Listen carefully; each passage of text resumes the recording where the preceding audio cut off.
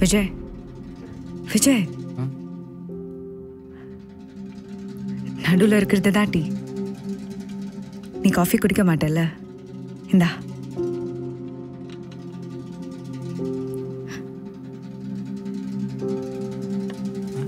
பையன் நல்லா இருக்கான்ல உட்காருமா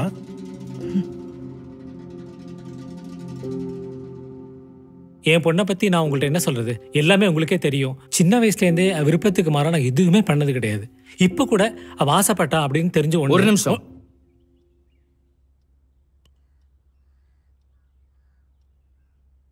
எனக்கு தன்யாவை ரொம்ப பிடிச்சிருக்கு. தன்யாக்கும் என்ன பிடிச்சிருக்கு. நாங்க ரெண்டு பேரும் கல்யாணம் பண்ணிக்கிட்டு வாழ்க்கை பூரா சந்தோஷமா வாழணும்னு ஆசைப்படுறோம். உங்களில் யாருக்காவது அதில் ஆட்சேபனை இருக்கா? இல்ல இல்ல இல்ல இல்ல. எங்களுக்கு முழு சந்தோஷம். அதே சமயத்துல உங்க வீட்ல என்ன எதிர்பார்க்கறீங்கன்னு தெரிஞ்சா அதை நாங்க செஞ்சிருவோம் இல்லையா? அப்புறம் பின்னாடி வந்து பா உங்களுக்கு ஓகேவா என்னடா? அதை பேசி முடிக்க தானே வந்திருக்கோம். நானும் தன்யாவும் கல்யாணம் பண்ணிக்கிறதுல உங்களுக்கும் அம்மாவுக்கும் சம்மதம் இருக்கா இல்லையா? எங்களுக்கு சம்மதம் தான்ப்பா. ம், சரி. ஆண்டி எனக்கு சில கேள்விலாம் இருக்கு. பதில் சொல்றீங்களா? இல்ல ஒன்றும் சிம்பிள் தான். பயப்படாதீங்க. என்னங்க? அங்கிள் உங்களுக்கு ஒன்றும் பிரச்சனைலாம் இல்லைல்ல அவங்க பேசுறதுல? இல்ல இல்ல இல்ல இல்ல. நல்லா பேசுவா. ஆனா கொஞ்சமா பேசுவா. அவ்வளவுதான். பேசுவா சொல்லுங்க ஆண்டி. அதான் சொல்லிட்டாருல்ல. அங்கிளே பெர்மிஷன் கொடுத்துட்டாருல்ல. சும்மா சொல்லுங்க. என்ன கேள்வி? ஆ சரி. உங்க அம்மா அப்பாவை உங்க ஃபேமிலி எல்லாம் நீங்க மிஸ் பண்றீங்களா? சொல்லுங்க ஆண்டி. சொல்லு. அட சொல்லுங்க ஆண்டி. பரவாயில்ல சொல்லுங்க. ஆமா. எவ்வளவு அது ரொம்ப. அப்படிலாம் சொல்லக்கூடாது. தெளிவா சொல்லுங்க. எப்பப்ப மிஸ் பண்ணுவீங்க? எப்படிலாம் மிஸ் பண்ணுவீங்க? சொல்லுங்க. அது. அட சொல்லுங்க ஆண்டி. அங்கிள் அவ்வளவு பயமுறுத்தி வச்சிருக்கீங்களா? ஐயோ சொல்லுமா? சொல்லுமா. எப்போலான்னா எப்போவுமே தான் மிஸ் பண்ணுவேன். என் வீட்டில் நான் ஒரு வேலையும் செய்ய மாட்டேன். ஆனால் இங்கே எல்லா வேலையும் நான் தான் செய்யணும். என் புருஷன் என்னை நல்லா தான் பார்த்துக்கிறாரு மாமியார் மாமனார் இருக்கும்போது கூட எந்த பிரச்சனையும் இல்லை. அவங்களும் ரொம்ப நல்லவங்க தான். ஆனால் ஆயிரம் தான் இருந்தாலும் அப்பா அம்மா கிட்ட இருக்கிற உரிமை இந்த உலகத்தில் வேற யார்கிட்டேயும் வராதுல்ல. மூணு மாசத்துக்கு ஒரு வாட்டி வீட்டுக்கு போவேன். திரும்பி வர்றதுக்கு மனசே வராது. பரீட்சை முடிஞ்சு ரெண்டு மாசம் லீவுக்கு அப்புறம் இஷ்டமே இல்லாம ஸ்கூலுக்கு போவோம்ல. அப்படிதான் இருக்கும் ஒவ்வொரு வாட்டியும் திரும்பி வரும்போது. ஆனா என் புருஷனை எதுவும் சொல்லல. அவர் என்ன ராணி மாதிரி தான் வச்சிருக்காரு. சொல்றதெல்லாம் சொல்லிட்டு இந்த அட்வர்டைஸ்மெண்ட்ல லாஸ்ட்ல கண்டிஷன்ஸ் அப்ளைன்னு போடுவாங்களே அந்த மாதிரி இது ஒன்று எண்டில் போட்டு விட்டுறது. சரி. அம்மா நீ தாத்தா பாட்டிய உன் வீட்டெல்லாம் எவ்வளவு மிஸ் பண்ற? அவங்க சொன்னதே தான்ப்பா அவங்க சொன்ன ஒவ்வொரு வார்த்தையும் அப்படியே எனக்கும் பொருந்தும். ஏண்டி நான் உன்னை ராணி மாதிரி தானே பாத்துக்கிறேன் பாப்பா உங்க மேல எந்த தப்பும் இல்ல. நீங்க அவங்கள ராணி மாதிரி தான் பாத்துக்கிறீங்க ஆனா அவங்க வீட்ல அவங்க ராணி மாதிரி இல்ல. ராணியாவே இருப்பாங்க.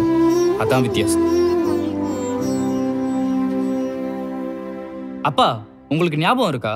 உங்க அக்கா வீட்டுக்கு போய் ஒரு ஒரு வாரம் தங்குவோம். உங்க சொந்தக்காரங்க வீட்டிலலாம் கூட அப்பப்ப தங்குவோம். அப்பெல்லாம் நீங்க என்ன சொல்லுவீங்க தெரியுமா? ரெண்டு நாள் கூட ஆயிருக்காது.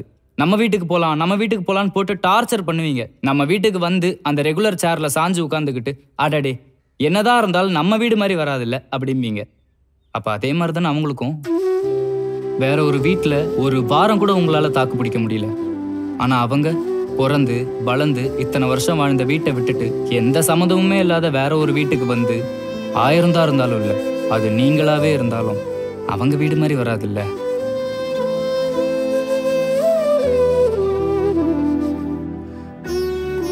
ஆனா ஏன் பொண்டாட்டி? ராணி மாதிரி இல்லை. ராணியாவே இருக்கணும்.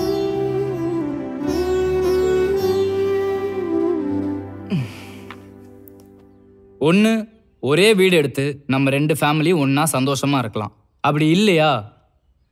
நாங்கள் ரெண்டு பேரும் ஒரு மாதம் அந்த வீட்டில் ஒரு மாதம் இந்த வீட்டில் மாறி மாறி இருந்துக்கிறோம். என்ன தன்யா? உனக்கு ஓகே தானே? அப்புறம் என்ன? டேய் என்னடா லூஸ் மாதிரி பேசிட்டு இருக்க? இத்தனை வருஷமா இப்படிதானே நடந்துட்டு இருக்கு நம்ம முன்னோர்கள் இதெல்லாம் காரணமே இல்லாமலா பண்ணியிருப்பாங்க? காரணம் இல்லாமலாம் இல்ல. ஒரு பெரிய காரணம் இருக்கு. என்ன காரணம் தெரியுமா? சுயநலம். ஆம்பளைங்களோட சுயநலம். இது இந்த பொண்ணுங்க கழுத்துல மட்டும் தாலி கட்டுறோம்ல அங்கிருந்தே ஆரம்பிக்குது. ஆனா பெண்ணுரிமை சமத்துவம்னு இப்ப நிறைய மாறிட்டு தானே இருக்கு. எவ்வளோ பேசினாலும் மாறினாலும் இப்போ வரைக்கும் ஒரு பொண்ணு தானே கல்யாணம் பண்ணிக்கிட்டு பையன் வீட்டுக்கு போயிட்டு இருக்கா ஏன் பயங்கரமா ஃபெமினிசமே பேசுற பொண்ணுங்க கூட கல்யாணம் பண்ணி புருஷன் வீட்டுக்கு தானே போயிட்டு இருக்காங்க அதான் இங்க அடிப்படை பிரச்சனையே. கிட்டத்தட்ட ஒரு பொண்ணை வாங்கி வீட்டுக்கு கூட்டிட்டு போய் நம்ம கண்ட்ரோலில் வச்சுருக்கோம்.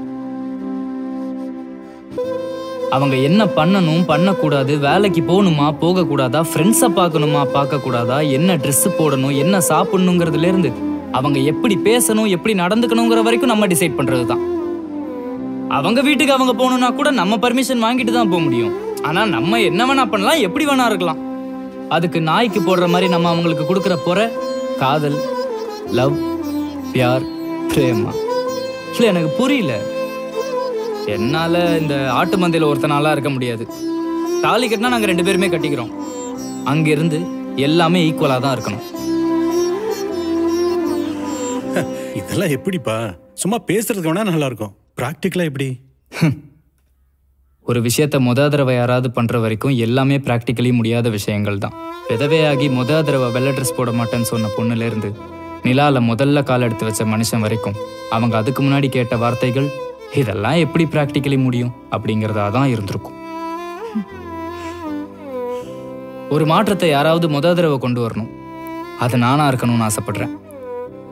மாற நான் தயார். நீங்க?